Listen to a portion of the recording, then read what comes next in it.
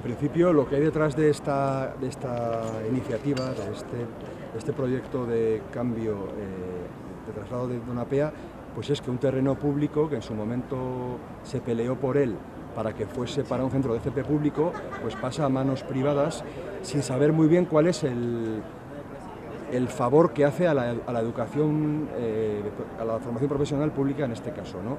Nosotros vemos que Cibdonapea, tal como está, se puede mantener eh, los años que haga falta, es un centro con 30 años de trayectoria y en principio, si hubiese lugar a una ampliación, tenemos terrenos alrededor pues, para hacer una posible expansión. Nos venden como mejora ir a San José, que es un, sería un centro que está en, el, en medio de un barrio, el barrio de Chabacoiz, sería un centro que tendría 1.500 alumnos en vez de los 1.000 que tiene Donapea, porque también incluiría sanitaria. Entonces sería un centro masificado, con problemas de aparcamiento y que no, eh, que no reflejaría un poco las demandas que necesita en este momento la formación profesional, tanto de Donapea como de sanitaria. Ellos han utilizado el cambio de Donapea pues como un, como un cambio de cromos. De alguna forma, el Opus necesita expandirse eh, y eh, Donapea es el último terreno que queda público en la zona y aprovechan el cambio pues, para quedarse con el terreno que de otra forma pues, nunca conseguirían. En este momento la clave eh, se encuentra en la votación que habrá el 24 de octubre en el Parlamento de Navarra. En esa votación se va a presentar una, proposición de ley de tal forma que cualquier PESIS que se apruebe para un proyecto de, este, esta característica necesite la, aprobación, el visto bueno del Parlamento.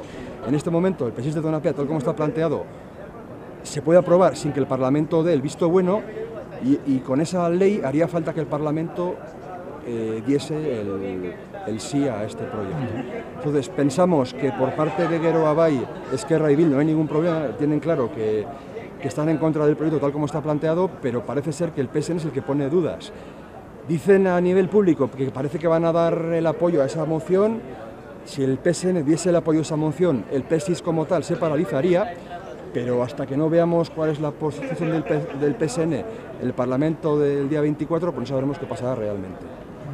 El objetivo de la convocatoria es, pues, de una forma, pues, eh, dejar claro que el Parlamento es quien tiene que dar un poco el rechazo al, proyecto de una tal como está contemplado y vemos que la presión social es la que va a conseguir que el Parlamento, en este caso el PSN, pues dé su brazo a torcer y se posicione, con las, se posicione junto a las, a las posturas que plantean que el Donapea es una en este momento es una insensatez. Avaricia, se llama avaricia. Avaricia, nada más que avaricia. Quieren todo para ellos. Lo, lo público no les interesa nada quieren todo privatizar. Pero claro, lo penoso es que lo hacen en nombre de Dios. Ahí está un poco el riesgo de los demás. Y entonces es tan el poder que tienen que hay un ejemplo claro. En mis tiempos se negó a Lopus una cesión de unos terrenos públicos. Estos benditos señores recurrieron a Carreo Blanco y consiguieron efectivamente esa donación gratuita. Esa es la gran verdad.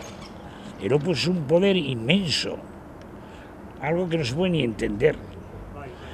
Y ahora yo confío que por fin el PSOE se limite a, ayudar a, evitar esta accesión.